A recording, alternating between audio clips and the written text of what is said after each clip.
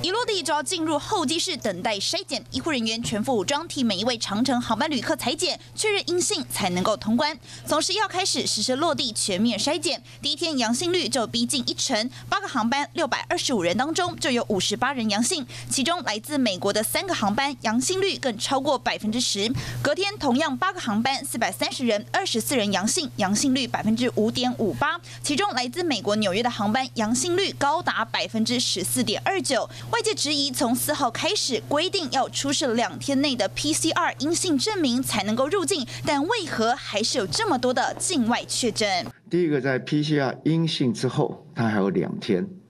那这两天内他染疫了，那进来也会被验出是阳性。然后第二个，他有潜伏期，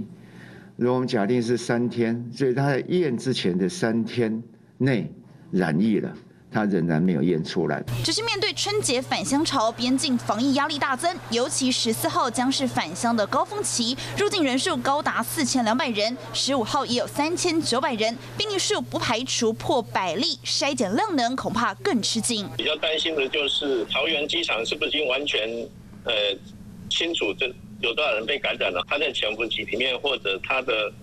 只做一次核酸，它有百分之二十的唯一唯一性哈，就怕把确诊者统统往北区医院送，会压垮医疗量能。指挥中心也允许确诊者如果是同班机的同行者，可以两人收治一个病室，也启动医院分流机制，减轻收治患者的压力。只能说变种病毒跑得快，想要马上消灭它不容易。面对接下来的返乡人潮，将考验台湾的边境防疫。华新闻台北桃园综合报道。